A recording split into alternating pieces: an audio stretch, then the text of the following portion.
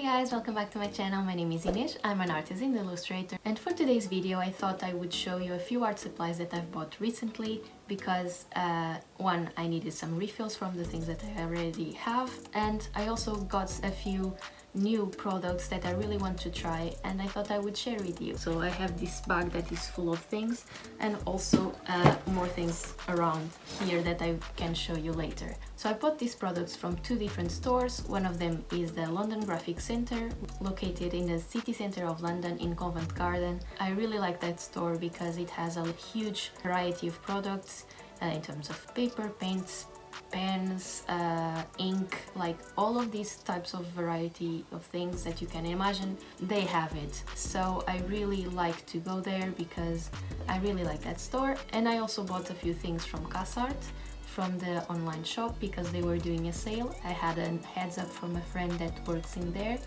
and um, it was nice because I got to buy a few things that I needed, a few things that I didn't know even existed uh, by a fraction of the price. So I think it's a very good deal. So if you are interested to see what are the art supplies that I've bought please keep watching the video. So one of the things that I really needed to buy was a refill on my Liquitex acrylic gouaches. I bought the primary colors again because basically I ran out of my last batch that I've bought I really like this, this product, I already talked about it in my favorites video. Uh, basically it's an hybrid between a gouache and an acrylic. It has the behavior of the gouache but has the finish of an acrylic. So basically you can make different layers of this product and it will not reactivate like other gouaches do. So I really like this, I actually prefer this to normal gouache. The colors are very vibrant, very opaque and it really does the job very well. I, I've done a few paintings with it and I really really like it. That's why I, I got a refill on these. So for my next product is something that I'm very excited about. It's something that I don't think I really needed it but I'm really excited because it's really pretty and it's something different and it's something that I'm always buying. So I got this Pigma Micron fine liners, brush pen and everyday pen. So it's 10 fine liners, one brush pen and one everyday pen in a black and gold edition. So it's, instead of the normal beige kind of pens, basically it's um, black and gold and it's really pretty. I think probably the inside is completely the same, but I got to see the, the actual price and it was not very different and I thought like since I'm always buying these pens, why not just buy these limited edition ones? They, they, they look so pretty and maybe it was an impulse buy but I really need these fine liners anyway for my work. So I'm really excited to try these. I'm sure they are exactly the same, just with a new outfit, which I'm not mad about. We sometimes need a change, and maybe the pants as well. So yeah, that's it for this one. So this next one is something that I'm really, really excited to try because I never heard of anything like it. I think they are the world's first or something, which are the Faber-Castell Pitt Graphite, Pit Grat,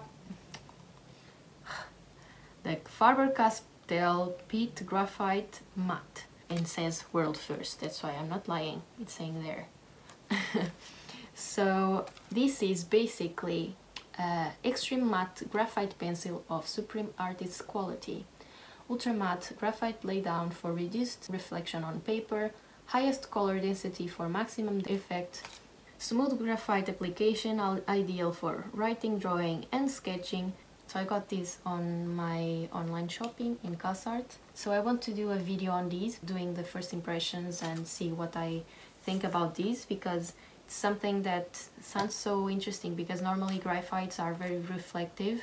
So one of the annoying things actually when you are trying to take a picture or uh, something and there's light on the graphite drawing, sometimes it can reflect the light and so if it is matte, it will not perform as that. So I would assume it would be more similar to charcoal, but obviously a completely different material. So we'll see how it goes. I will let you know how I feel about these. And yeah, I'm really excited for this one, for sure. So I also bought some Prismacolor uh, Col-Erase pencils. I already had the blue ones, like I have like 12 blue ones, but I wanted to try different colors and um, I didn't want to buy like another like 12 reds or 12 purples.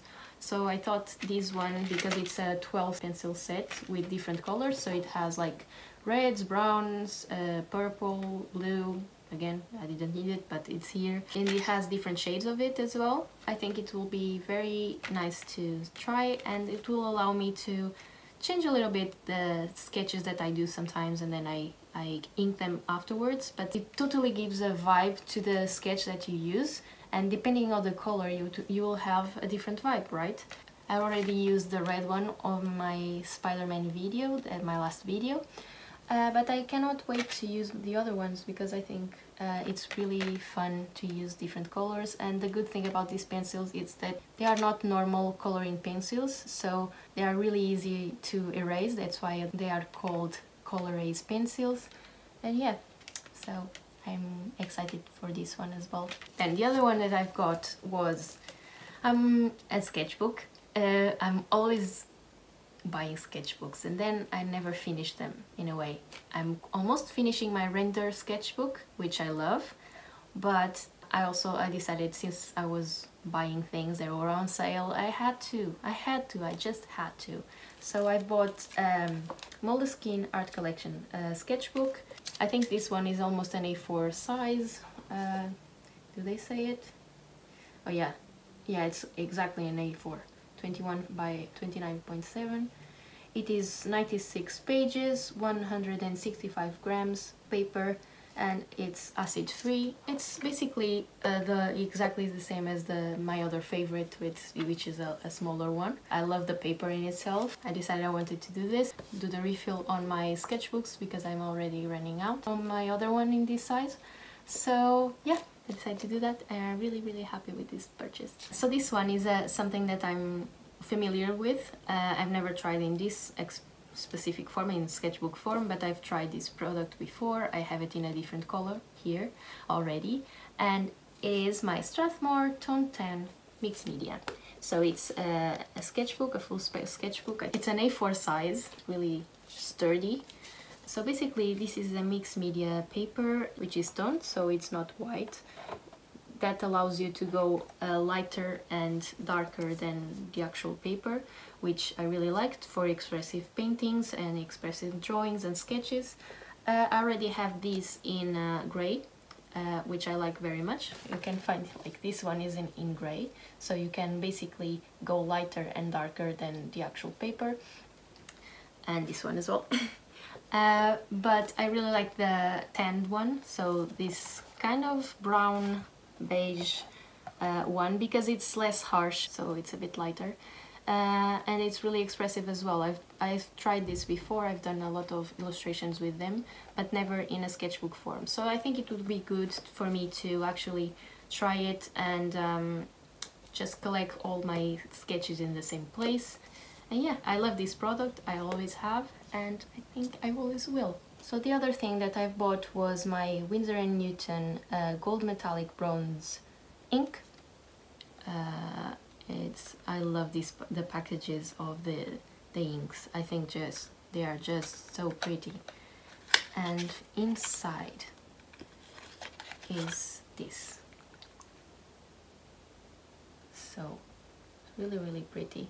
I cannot wait to use this. Look at this. Very wet, like very like liquid consistency. So I've never tried these uh, like metallic ones. I used the um, India ink constantly, like it's one of the things that I use a lot and it's from Winsor & Newton so I know they are good but I've never tried their pigments before so I'm really excited to try these with maybe watercolors or gouaches I think it will give a really cool result in the end and because it's I like the fact that it's quite liquidy. For me, I wanted to try this one and so we'll see. I'll let you know how I feel about this. It's something that I've never tried, but I'm very excited to. For my next product, I bought um, Liquitex Soft Body Acrylics. These are the primary colors as well, similar to the, actually, to my gouaches. It's basically the same type of product so it's the primary range but this is a different product. This is soft acrylics. It's uh, quite easier to use and I've never actually tried these as acrylics but if this is anything similar to the quality of the acrylic gouaches, which I think it might be because they are acrylics, I think I will be very very happy with these. So I will let you know, I will do a test with these and I will let you know how I feel about these. And yeah, can't wait to use them. So for my last product uh, that I will show you, it's something that I've bought a while ago, but since it's still on the wraps uh, and I still haven't used it, I think I will show you and talk about it, which is my Winsor & Newton canvas. It's in 60 by 70 centimeters and it's something that I've been wanting to use lately but I haven't had the chance. I since I moved house and all of these things happen. But I think uh, I wanted to include it in the video as well because it will make me uh, more aware that I actually have to use them. And I actually don't, don't mind at all to paint in big canvas. I already have done in the past. But you know it requires a lot of uh, time and I haven't had it until now but it's something that I really want to to do forward. I'm really happy with my purchase. I know it's a very good quality canvas, the Winsor & Newton ones, so I cannot wait to actually start painting and just enjoy the art of painting a big canvas. I really miss it and I think I should definitely do it soon. So yeah guys, thank you so much for watching. Uh, I hope you enjoyed the selection of art supplies that I've got. I'm really excited to try some of these products and other ones like I'm also excited but already know how they perform but the acrylics, the, the canvas, the graphite, the matte graphite, it's one of the ones that I'm really really excited because it's something that sounds a bit different from the actual graphites that I'm used to using so I'm if you want I will definitely do a video on it uh, showing my first impressions. And yeah I'm really really excited to start working, start drawing, start painting. And yeah guys, uh, thank you so much for watching, I hope you enjoyed this video. And if you did, please give it a like, subscribe if you haven't already. And I will see you next week with another video. Bye!